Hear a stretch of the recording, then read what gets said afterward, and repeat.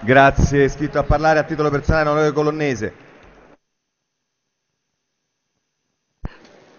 Ripetere sempre lo stesso concetto è difficile, qui diventa quasi normale. Noi qui stiamo parlando dell'assurdità di accostare la scuola al sistema aziendalistico che viene proposto da un governo che dovrebbe essere di sinistra. La sinistra italiana in questo momento, sinistra che non esiste, sta dicendo che la scuola deve diventare azienda, deve azzerare la possibilità di tutti per, di avere una possibilità nella vita e questa è la cosa. Adesso le scuole diventeranno di serie A e di serie B. Io penso a un ragazzo nella periferia di Napoli che ha un solo strumento per riuscire ad andare avanti che è quello della scuola. Adesso deve subire l'ennesimo ricatto anche del dirigente scolastico. A questo voi state portando la, la scuola italiana. Grazie, grazie veramente. Grazie.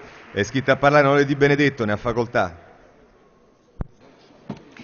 Grazie Presidente.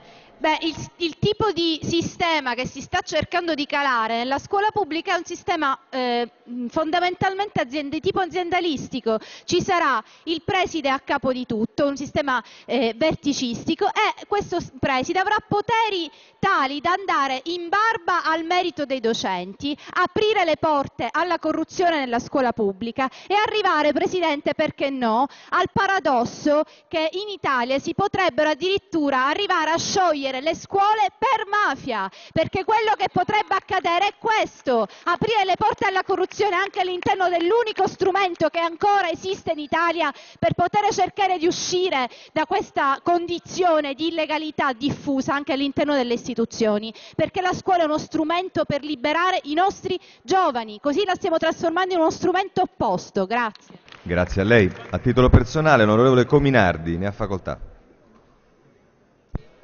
Grazie Presidente. Io capisco che il Premier Matteo Renzi è diventato Presidente del Consiglio su chiamata diretta, ma la scuola dovrebbe essere un'altra cosa ovviamente come i due Presidenti del Consiglio che l'hanno preceduto senza un minimo di legittimazione popolare. Ma quello che voglio dire è che state distruggendo la scuola, la scuola pubblica in particolar modo, ma io vorrei sapere, i vostri figli, dove li mandate? La scuola pubblica o la scuola privata? Perché se li mandate alla scuola pubblica la state distruggendo così, siete Onore... scemi due volte. Onorevole Ottavio, lo, scusi, eh, l'ho già richiamata all'ordine una volta. Se lei vuole uscire dall'aula per la terza volta basta che continua io la caccio fuori.